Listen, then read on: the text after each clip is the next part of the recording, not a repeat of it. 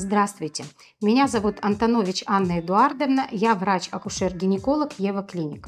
Сегодня мы с вами поговорим о том, когда надо показываться детскому гинекологу, когда надо показываться профилактически, при каких жалобах стоит обратиться к детскому гинекологу, о подготовке к осмотру детскому гинекологу, э, почему осмотр детского гинеколога – это очень важно. Профилактические осмотры девочек у гинеколога оговорены нашим постановлением Минздрава и рекомендуется показать девочку акушеру-гинекологу в 2-3 годика перед оформлением в детский детский садик, 6-7 лет перед оформлением в школу и с 14 лет ежегодно посещать гинеколога. Также мы рекомендуем посетить гинеколога в год начала менструации. Это в среднем около 12 лет, чтобы получить какие-то рекомендации. Девочку нужно водить к гинекологу с раннего возраста. Во-первых, есть некоторые гинекологические патологии, которые выявляются только при осмотре гинеколога. Во-вторых, это как ежегодный чекап у взрослых женщин, у девочек то же самое. Девочку надо приучать к посещению гинекологу регулярному, чтобы ребенок не боялся врача, чтобы знал, для чего посещает гинеколога, э, чтобы знал, что это надо делать регулярно. Э, гинеколог на приеме и девочке, особенно девушке-подростку, дает дает много рекомендаций по уходу за собой, по э, гигиене, по использованию э, средств контрацепции для подростков, по использованию средств гигиены во время менструации. Поэтому, конечно, надо посещать гинеколога регулярно с раннего возраста. Осмотр девочки акушером-гинекологом не обязательно включает в себя осмотр на кресле и очень зависит от возраста и от цели осмотра. А, маленьких девочек акушер-гинеколог обычно осматривает на кушетке, и осмотр гинеколога включает в себя пальпацию, то есть прощупывание живота, а, осмотр наружных половых органов с целью исключения а, патологии, синехии наружных половых органов у маленьких девочек, воспалительных заболеваний наружных половых органов. Обязательно включает в себя оценку вторичных половых признаков, а именно оволосение подмышечных спадин, оволосение э, в лобковой зоне и рост молочных желез. А, в более старшем возрасте осмотр гинеколога включает эм, осмотр на кресле, это у девушек, живущих половой жизнью, полностью гинекологический осмотр, осмотр шейки матки, бимануальное гинекологическое исследование, то есть прощупывание матки придатков, осмотр молочных желез. У девочек, не живущих половой жизнью, это будет осмотр на кресле, но прощупывание матки и придатков ректально, то есть через прямую кишку и обязательно осмотр молочных желез. Осмотр гинеколога в нашей клинике проводится очень доброжелательными врачами. Это абсолютно безболезненная процедура. А, это осмотр в очень комфортной обстановке и для девочки, и для ее родителей.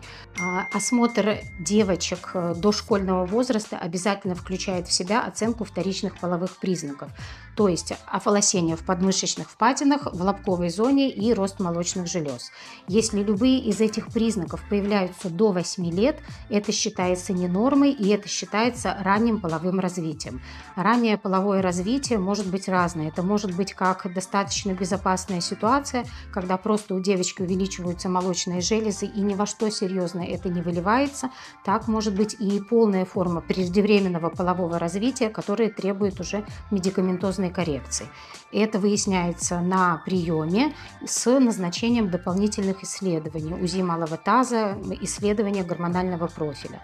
Поэтому маму обязательно должно насторожить появление вторичных половых признаков до 8 лет. Если же у девочки до 13 лет не появляются никакие вторичные половые признаки, то есть нету оволосения в подмышечных впадинах, в лобковой зоне, нет роста молочных желез, это может свидетельствовать о задержке полового развития и тоже является поводом обязательного обращения к врачу-гинекологу.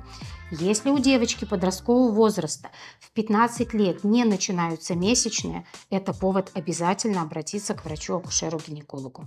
Причины отсутствия менструации в 15 лет и старшем возрасте могут быть, во-первых, наследственно-конституциональные. Если у мамы месячные начинались позже, вполне возможно, что у дочки месячные тоже начнутся позже.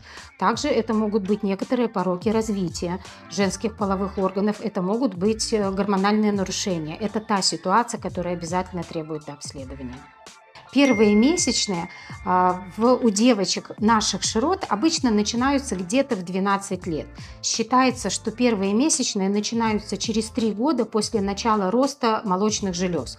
Если самая ранняя норма для роста молочных желез 8 лет, то, соответственно, с 11 до 15 лет это вот средний возраст, и в среднем это 12 лет для начала менструации. И первая менструация это называется менархия.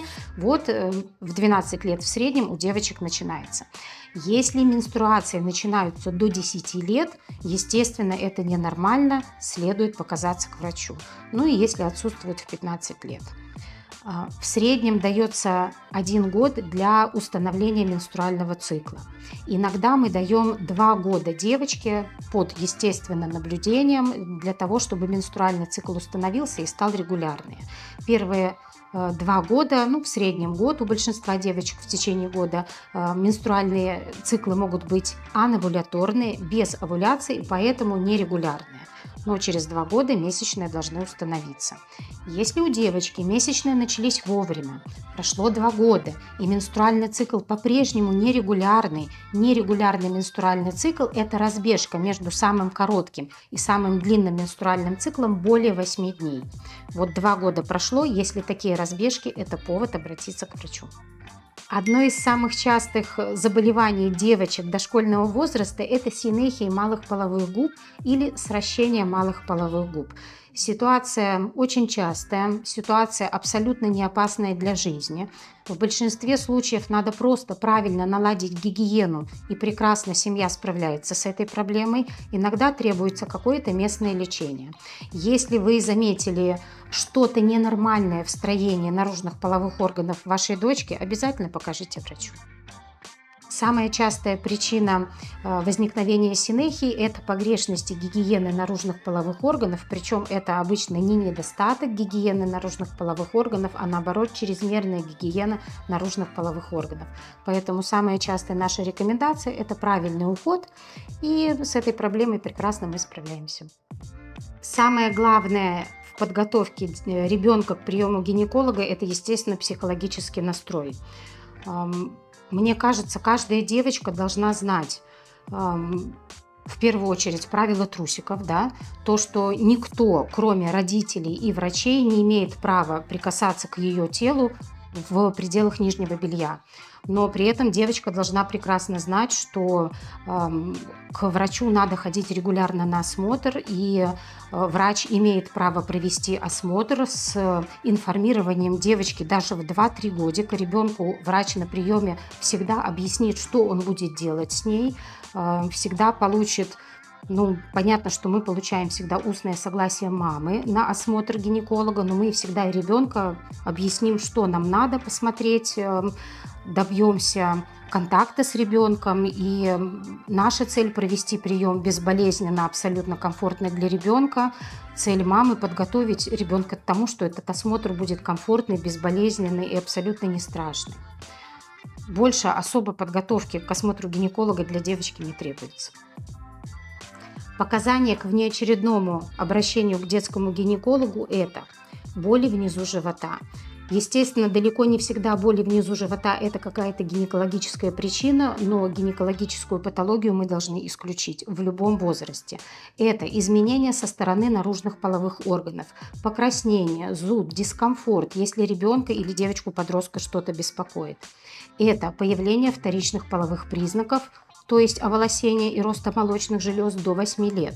Это отсутствие вторичных половых признаков больше, после 13 лет. Это отсутствие менструации в возрасте 15 лет и больше это какая-то дискомфорт, что-то со стороны молочных желез, изменение кожи в области молочных желез, болезненность области молочных желез, эм, какие-то трещины, изменения сосков, появление выделений из молочных желез – это тоже все повод обратиться к акушеру-гинекологу. Надеюсь, информация была для вас полезна. Если у вас есть какие-то вопросы, оставляйте комментарии, мы будем вам отвечать. Всего хорошего!